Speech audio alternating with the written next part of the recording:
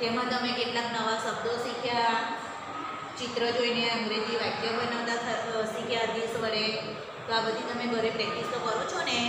બધાને મેં વાંચવાનું કહ્યું, તમારા મમ્મી પપ્પાની જોડે બેસીને દરેક ચિત્ર જોઈને વાક્ય દિવસ વડે બનાવવાનું અને વાંચવાનું ને મમ્મી પપ્પાને સંભળાવવાનું. તો તમે બધાએ સંભળાવ્યું? વાંચ્યું? પ્રેક્ટિસ કરી, બધા નવા જે શબ્દો મેં તમને કહ્યા હતા ચોપડીમાંથી લખવાના તે બધા તમે લખ્યા?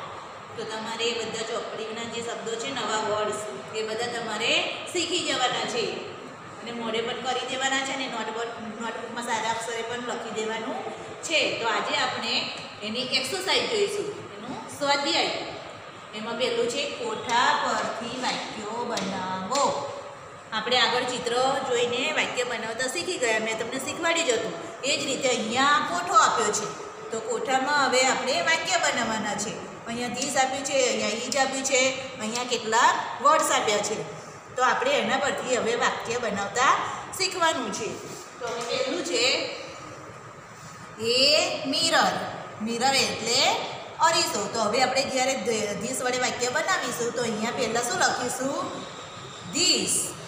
પહેલું વાક્ય બનશે ધીસ પછી આ ઈજ લઈ લેવાનું છે.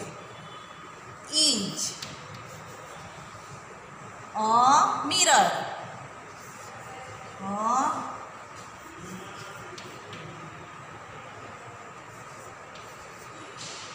mirror this is a mirror. આ અરીસો છે. હવે બીજું વાક્ય બનશે અહીંયાથી. ધીસ તો લઈ લેવાનું છે બધામાં. અને ઈજ પણ લઈ લેવાનું. એટલે ધીસ ઇઝ પછી અહીંયા જે બીજા નંબરનો વર્ડ છે તે લઈ લેવાનું. અ ટેબલ ટેબલ એટલે table a table this is a table આ ટેબલ છે. હવે ત્રીજું વાક્ય બનાવીશું. This is a chair chair એટલે ખુરશી this is a chair this is a chair એટલે કે આ ખુરશી છે. હવે ચોથો number. This is a glass this is a glass this is a glass એટલે કે આ પ્યાલો છે હવે પાંચમું વાક્ય બનશે? This is a this is a doll આ ડીંગલી છે. તો તમે ફોર લાઈનની અંગ્રેજીની નોટબુકમાં વ્યવસ્થિત રીતે રીતે આ પાંચે પાંચ વાક્ય બનાવીને આવી રીતે લખવાના છે. હવે પછી સ્વાધ્યાયમાં બીજું મથાળું બાળકો આવશે. નમૂના પ્રમાણે નીચેના શબ્દો પરથી વાક્યો બનાવો. અહીંયા નમૂનો તમને આપે છે. અહીંયા તમને શબ્દ આપે છે વોચ તો હવે એનું અહીંયા વાક્ય બનાવીને લખ્યું છે કે this is a watch. This એટલે આ ઇઝ એટલે છે અને અ વોચ એટલે ઘડિયાળ. આ ઘડિયાળ છે. એવી જ રીતે તમારે આ જે શબ્દ આપ્યા છે, તેના વાક્ય બનાવવાના છે. અહીંયા પહેલો શબ્દ આપ્યો છે તમને હેન. હેન એટલે મરઘી. તો હવે નમૂના પ્રમાણે આપણે ઉપરના શબ્દનું જે રીતના વાક્ય બનાવ્યું છે તેવી જ રીતે અહીંયા નીચે હેનનું પણ બનાવવાનું છે. તો અહીંયા આપણે લખીશું this is a hen this is a hen આ મરઘી છે. હવે બીજું છે ફેન તો આપણે એનું પણ વાક્ય બનાવીશું. This is a fan fan એટલે પંખો. આ પંખો છે.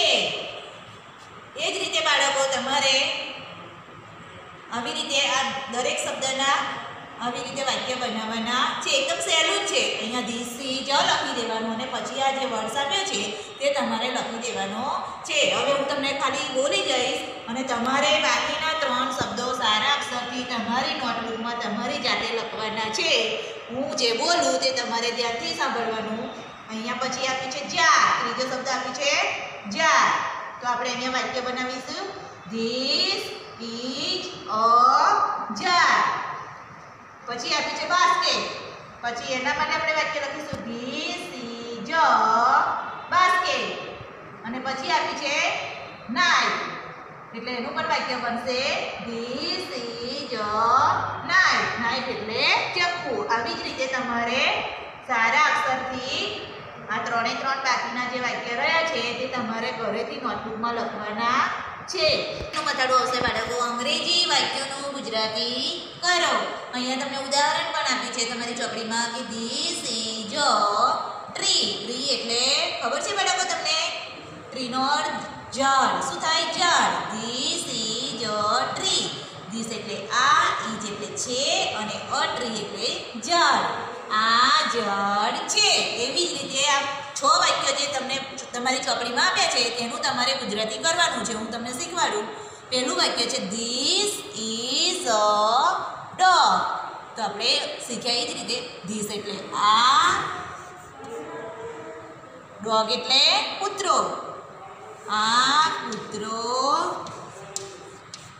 ઈજ એટલે છે આ કૂતરો છે પછી બીજું વાક્ય this is a hen this એટલે આ ઈજ એટલે છે અ હેન એટલે મરઘી આ મરઘી છે